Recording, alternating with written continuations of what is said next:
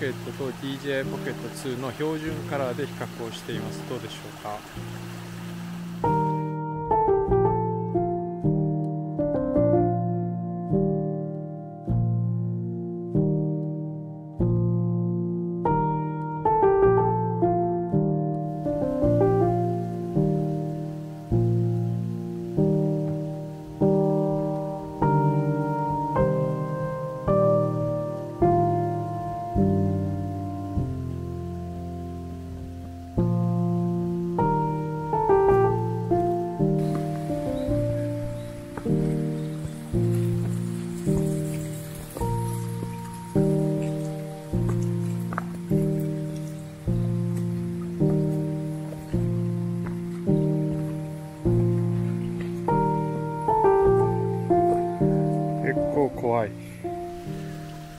構怖い。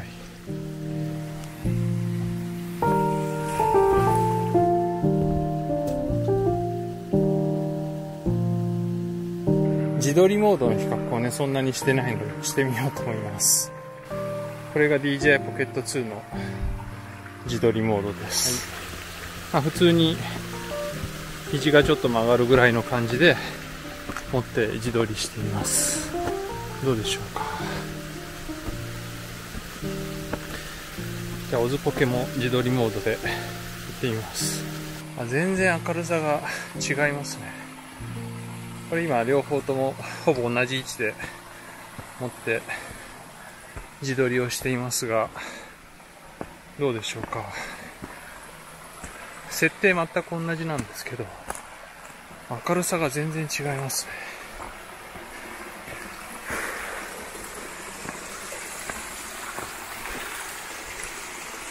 どうでしょうか？明るい方を今見てます。やっぱり顔の大きさ全然違いますね。色一緒なのかなこれ。画面で見るとかなり違うんですけどね。はいまた普通に撮っています。どうでしょうか？暗いほどじゃないんですけど結構薄暗い森の中で今撮っていますがどうでしょうか？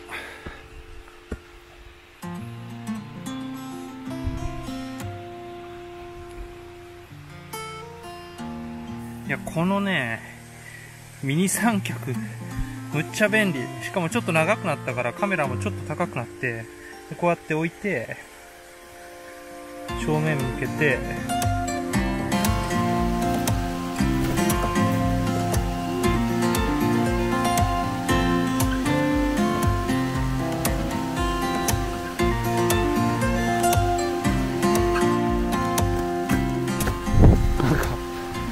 鎖があるんでちょっと登ってみようかなと思います。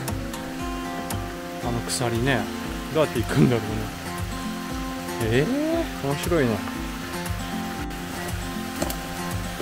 片手でオズポケ持ちながら行けるのかっていう。お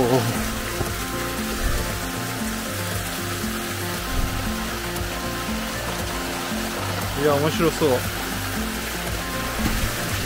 ほうほうほうほう。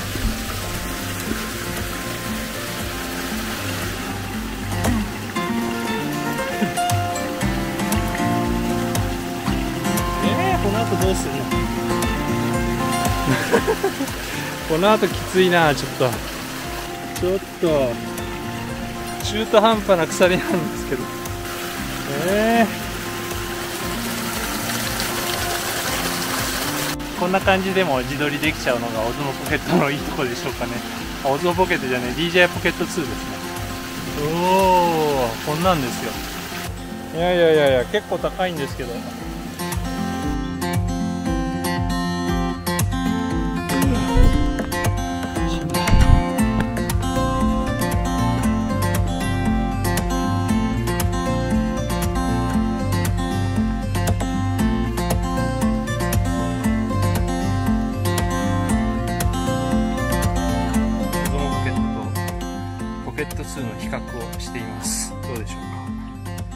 まあ、ちょっと公平を期すためにポケット2も ISOMAX3200 に設定してあります DJI ポケット、あ、じゃあ DJI オズモポケットも、えっと、IS をオートにすると勝手に3200まで行ったり来たりするので、まあ、それに合わせてあります。どうでしょうか。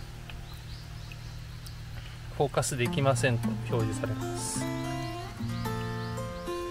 じゃあ今からこの崖をね、ちょっと登っていこうと思います。若干いろいろ怖いんですけど。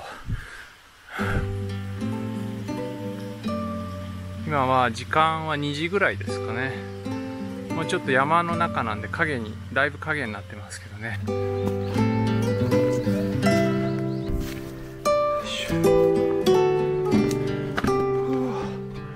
ちょっと明るいところに出てきました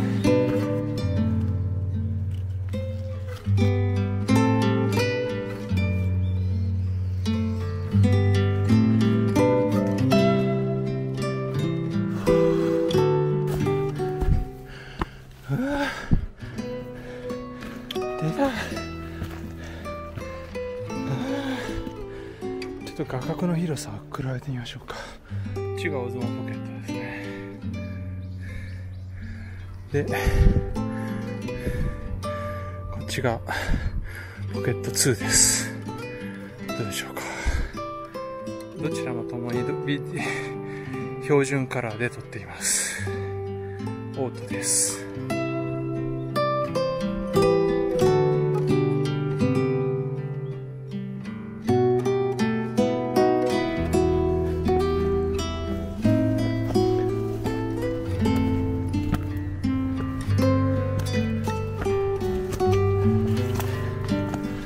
このミニジョイスティックね、革新的に使いやすいわ。むっちゃいい、これ。これだけでも価値があるね。あの、普通のオズボポケットにもつくと思うので、いいと思いますよ、これ。自撮りするときにこう下向けるのとかも、こうやってやれば、簡単に好みの角度に合うので、むっちゃ楽ですね、これ。コースじゃなくて、やっぱこっちだよね。例えば、こういう岩場を登ってるのを自撮りしたい時とかも、三脚広げて、置きますよね。撮りたい角度を選んで、あとは登るだけですね。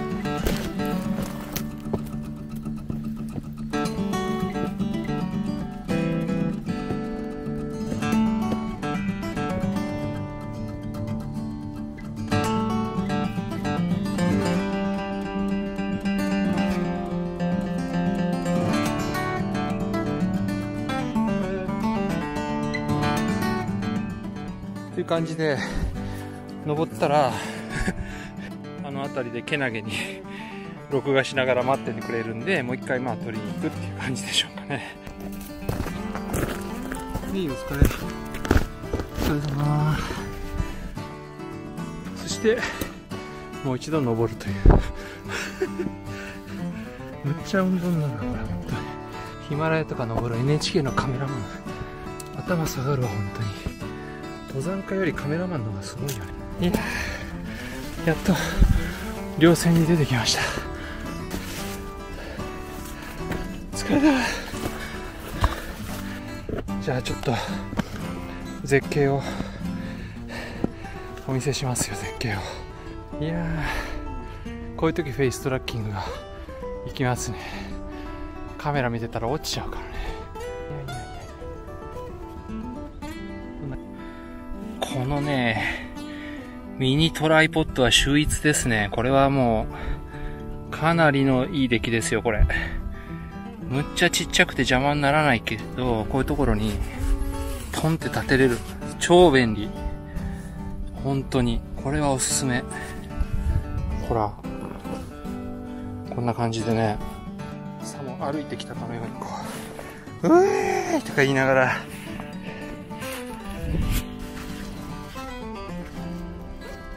ここで生きるのがですね、このワイヤレス接続ですね。これで接続して、これで映ってるかな。これで、ほら。これでほら、つたつた。イエーイって。あ、でもちょっと頭が。もうちょっと広角だと最高ですね。ワイドレンズつけたらもう最高じゃないですか、これ。で、これを後ろからさらに、さも誰かが撮ってるかのように。ら、パンしてくれる。すごくないですか？これ。やったーみたいな感じで。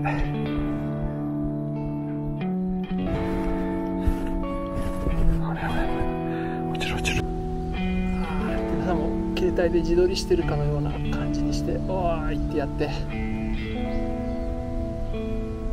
足元も映るかな？映ってますねみたいな使い方ができるわけですよこれは何だ？